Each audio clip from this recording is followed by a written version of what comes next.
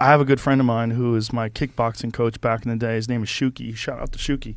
He lives in Israel now. I went to, to dinner over his house once, and you know his wife and his kid are there, and he's playing bongos, and they're cooking, and he's like everyone's dancing. And. I go, "You're so happy."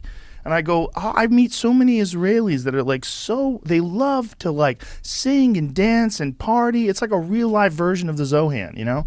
I go, what is it? And he goes, when you're in Israel, he goes, every day you could die. He goes, you don't know what's going to happen. Like Palestine and Israel have been this constant conflict. You're surrounded by all these Arab states. And he's like, "Eh, when you, any day you can die, everybody just party, party, party. You just, when you're alive, you're happy.